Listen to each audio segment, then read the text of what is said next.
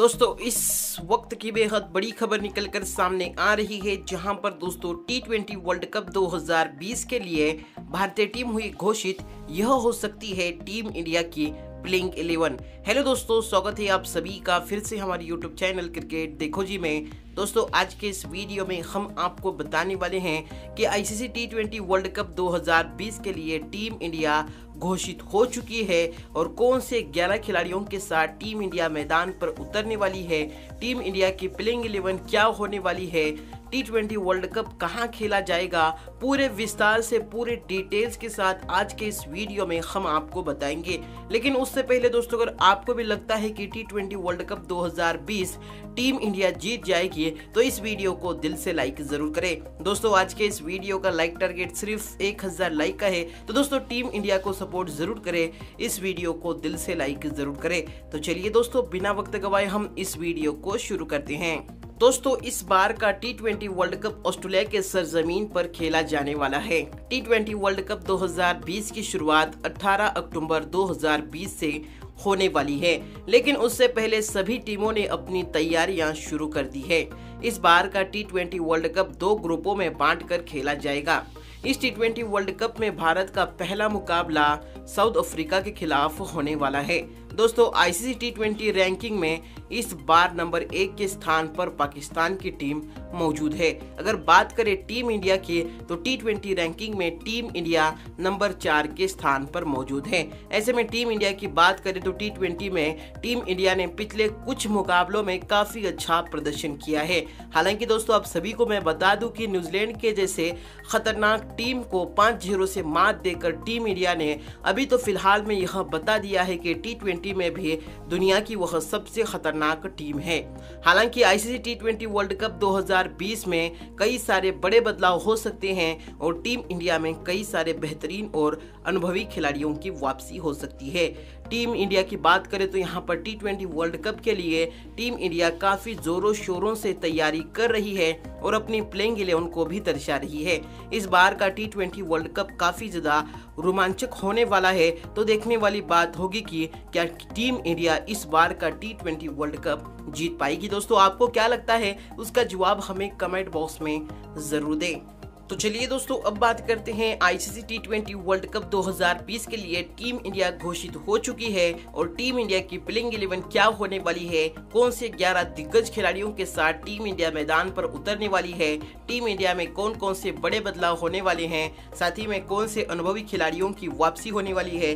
तो चलिए विस्तार से जान लेते हैं। दोस्तों, बात करते हैं यहाँ पर नंबर एक खिलाड़ी की। दोस्तों, आप सभी को यहाँ पर नंबर एक पर कप्तान रोहित शर्मा बल्लेबाजी करते हुए नज़र आएँगे। जी हाँ दोस्तों, आप सभी को बता दें कि टी ट्वेंटी वर्ल्ड कप 2020 के लिए कप्तानी यहाँ पर रोहित शर्मा आप सभी को करते हुए नज़र आएँगे। दरअसल दोस्तों, बात करें रोहित शर्मा की तो रोहित शर्मा जो कि बहुत ही शानदार बल्लेबाज हैं, जिस तरह से ओपनिंग में आकर बल्लेबाजी करते हैं और टीम इंडिया के लिए महत्वपूर्ण पारी खेलते हैं, वह काबिल तारीफ़ है। दोस्तों, कप्तान रोहित शर्मा बहुत ही शानदार कप्तानी करते हैं। मुंबई इंडियंस की तरफ़ से उन्होंने बहुत ही लाजवाब कप्तानी की है और मुंबई इंडियंस को चार बार यहाँ पर जीत दिला चुके हैं। तो ऐसे में यहाँ पर लगता है कि ICC T twenty World Cup 2020 में भी रोहित शर्मा आप सभी को कप्तानी करते हुए नज़र आएँगे। अब दोस्तों, आप सभी से हमारा सवाल है कि विराट कोहली और रोहित शर्मा में किसे टी ट्वेंटी वर्ल्ड कप का कप्तान बनाना चाहिए, उसका जवाब हमें कमेंट बॉक्स में ज़रूर दें। दोस्तों, बात करते हैं नंबर दो खिलाड़ी की। दोस्तों, यहाँ पर नंबर दो पर आप सभी को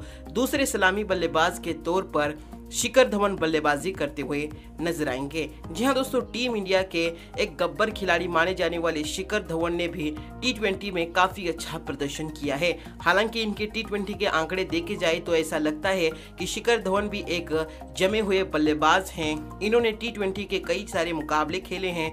अंतर्राष्ट्रीय टी क्रिकेट में इन्हें बहुत ज़्यादा अनुभव है तो ऐसे में अनुभवी खिलाड़ियों की टीम इंडिया में सख्त ज़रूरत है। तो ऐसे में फिर से एक, एक बार आप सभी को रोहित शर्मा के साथ शिखर धवन सलामी बल्लेबाज के तौर पर मैदान पर बल्लेबाजी करते हुए नज़र आएँगे।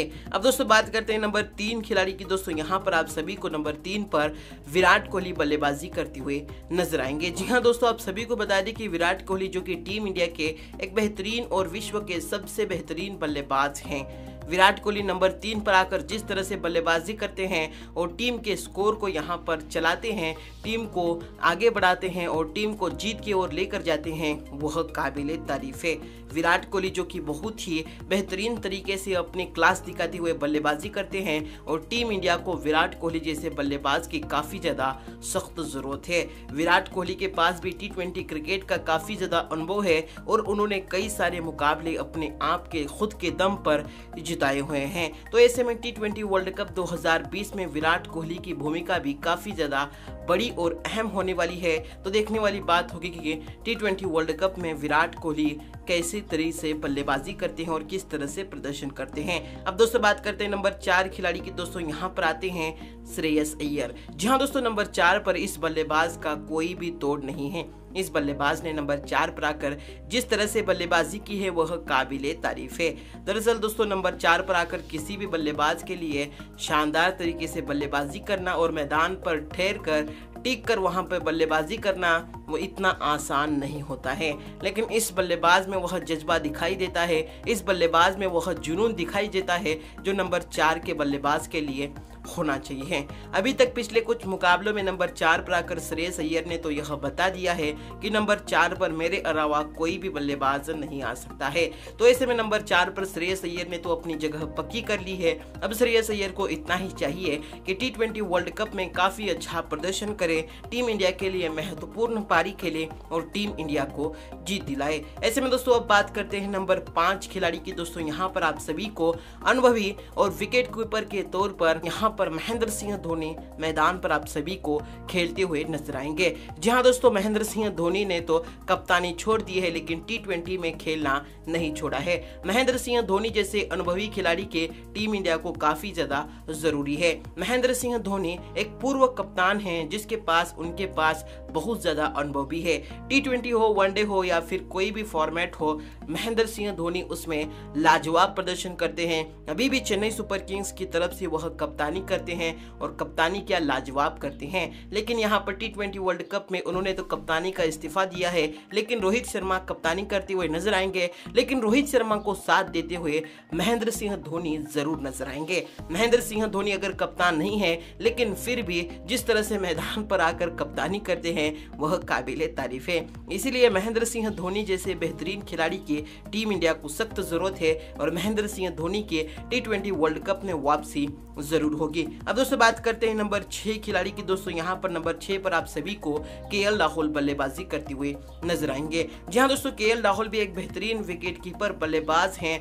किधर भी खिलाओ, कोई भी नंबर पर खिलाओ के राहुल खेलने के लिए तैयार हैं। पिछले कुछ मुकाबलों में के राहुल ने काफ़ी अच्छा प्रदर्शन किया है, जिसकी वजह से के राहुल का नंबर छह पर आना पक्का है। अब दोस्तों बात करते हैं नंबर सात खिलाड़ी की। दोस्तों, यहाँ पर आते हैं हार्दिक पांड्या। जी हाँ दोस्तों, हार्दिक पांड्या भी नंबर सात पर आकर बेहतरीन तरीके से बल्लेबाजी करते हैं। साथ ही में टीम इंडिया के लिए ज़रूरी गेंदबाजी भी कर सकते हैं। ज़रूरत पड़ने पर टीम इंडिया के लिए विकेट भी ले सकते हैं और ज़रूरत पड़ने पर टीम इंडिया के लिए तूफानी पारी खेलकर टीम इंडिया के जीत को और ले सकते हैं, टीम इंडिया को जीत के और ले जा सकते हैं, साथ ही में टीम इंडिया के लिए बड़े फ़ायदेमंद खिलाड़ी साबित हो सकते हैं। अब दोस्तों, बात करते हैं यहाँ पर नंबर आठ खिलाड़ी की। दोस्तों, यहाँ पर आते हैं रविंदर जडेजा।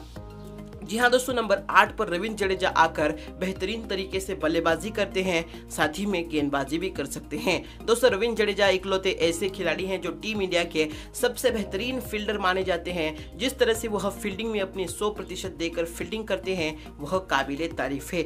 चौके वाले गेंदों को रोकते हैं, साथ ही में ज़बरदस्त फील्डिंग करते हुए विकेट भी लेकर देते हैं रनआउट करते हैं। तो इस खिलाड़ी की टीम इंडिया को काफ़ी ज़्यादा ज़रूरत है और आप सभी को फिर से एक बार मैदान पर खेलते हुए नज़र आए जाएगा। अब दोस्तों, बात करते हैं नंबर नौ खिलाड़ी की। दोस्तों, यहाँ पर आते हैं कुलदीप यादव। जी हाँ दोस्तों, कुलदीप यादव भी टीम इंडिया के एक बेहतरीन स्पिनर हैं चैनमैन गेंदबाज के नाम से।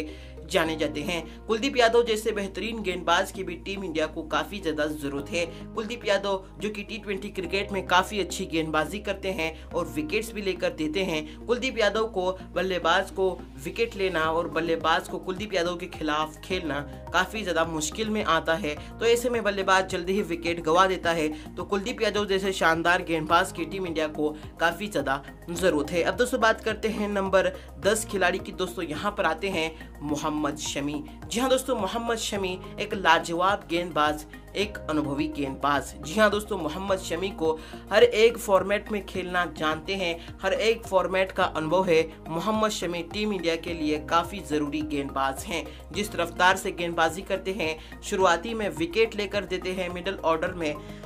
शानदार तरीके से गेंदबाजी करते हुए यहाँ पर रन कम देते हैं विकेट लेते हैं तो ऐसे में मोहम्मद शमी जैसे खतरनाक गेंदबाज की टीम इंडिया को काफ़ी ज़्यादा सख्त तो ज़रूरत है और आप सभी को फिर से एक बार नंबर दस पर खेलते हुए नज़र आएँगे। अब दोस्तों बात करते हैं नंबर ग्यारह खिलाड़ी की। दोस्तों यहाँ पर आते हैं जसप्रीत बुमराह। जी हाँ दोस्तों, जसप्रीत बुमराह भी टीम इंडिया के एक मुख्य गेंदबाज हैं और टीम इंडिया के एक अहम खिलाड़ी भी हैं। जसप्रीत बुमराह, जो कि टीम इंडिया की तरफ़ से गेंदबाजी करते हुए काफ़ी ज़रूरी भूमिका निभाते हैं, काफ़ी अहम भूमिका निभाते हैं। जिस तरह से वह गेंदबाजी करते हैं, वह काबिल तारीफ़ है। कम समय में इस गेंदबाज ने काफ़ी अच्छा प्रदर्शन करते हुए दुनिया को बता दिया है कि वह विश्व का सबसे बेहतरीन गेंदबाज है। तो ऐसे में फिर से एक बार आप सभी को नंबर ग्यारह पर यह गेंदबाज खेलते हुए दिखाई देगा। आप दोस्तों, आप सभी से हमारा सवाल है कि टी वर्ल्ड कप कौन जीत सकता है? क्या टीम इंडिया इस बार का टी वर्ल्ड कप जीतेगी। उसका जवाब हमें कमेंट बॉक्स में ज़रूर दे। साथ ही में दोस्तों टीम इंडिया को सपोर्ट करते हो तो इस वीडियो को दिल से लाइक ज़रूर करें। इस वीडियो को ज़्यादा से ज़्यादा शेयर ज़रूर करें। और दोस्तों क्रिकेट से जुड़ी हर खबर पाने के लिए अभी हमारे यूट्यूब चैनल को सब्सक्राइब ज़रूर करें और उसके बाद बेलाइकन भी ज़रूर दबाए। तो चलिए दोस्तों, आज के इस वीडियो में बस इतना ही।